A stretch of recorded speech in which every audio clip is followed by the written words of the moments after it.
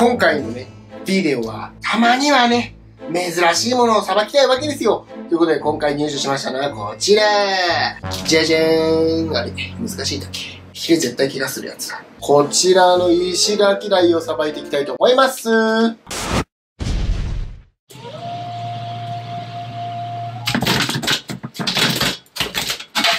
今回はね、石垣台というね。まあいいや、せっかくだからここで閉めちゃおう。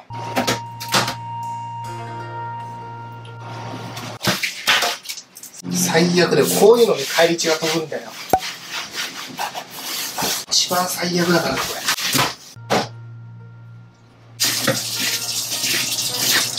さばいていくからね。うわんびっくりしたん。まずは頭を落とす。うん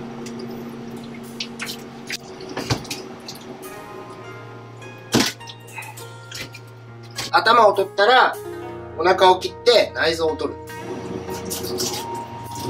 すごい。浮き袋までなんか、すごい。じゃあちょっとね、3枚におろしていきたいと思います。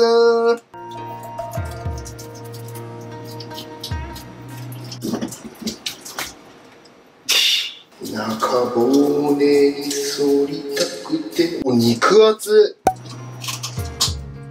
浮き袋はまあ後々 なんか珍しいなよいしょおおまだビクビクしてる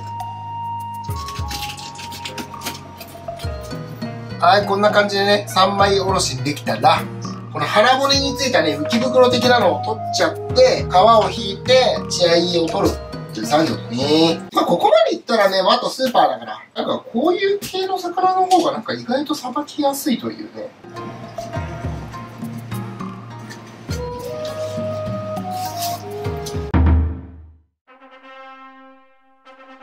はい、ということで、できましたムーンということで、えー、っと、石垣台。めっちゃチートが、どんぐらいだ、この T シャツにね、この T シャツね。この T シャツ、なかなかいいでしょう。じゃあ、ちょっとね、お醤油タイム。ちょっとだけなった。もうね、お刺身をちょっといただこうかな。はーい。